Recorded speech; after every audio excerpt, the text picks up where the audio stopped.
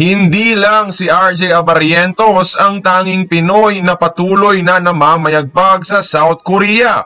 Renza Bando nagpapakitang gilas din, taob pa mga dating NBA players at ang buong KBL sa depensa.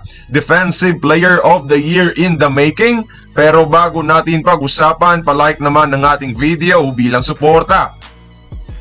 Kamusta mga idol? Anong balita? Kung bago ka pa lang dito, i-click mo na ang subscribe at ang notification bell para maging updated ka sa ating mga uploads.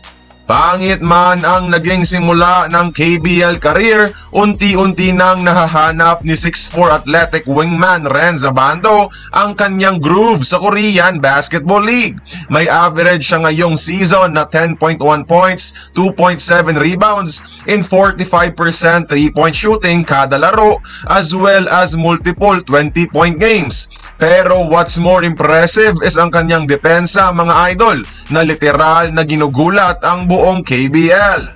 Kahit nagwardya si Renza Bando ang league leader ng buong KBL ngayon pagdating sa blocks per game. Oo, tama ang rinig nyo.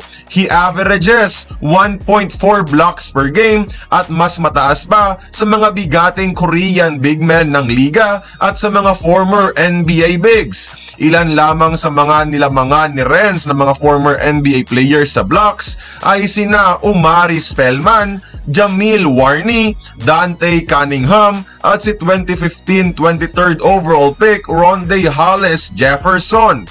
With this being said, may pag-asa si Renza Bando na mapunta sa contention for the KBL Defensive Player of the Year o kahit All Defensive Team man lang. Grabe no, bangko lang to ni Chot Reyes sa gilas noon pero league leader na sa block averages sa buong KBL ngayon. Kaya kayo mga idol, anong masasabi nyo sa achievement na ito ni Abando? Join the conversation, magkomento lamang sa ibaba. Kung nagustuhan mo ang ating video, please like, share, and subscribe. I-follow mo na rin ang ating social media platforms for more exclusive sports content. Until then, this has been Courtside Buckets. See you on the next one.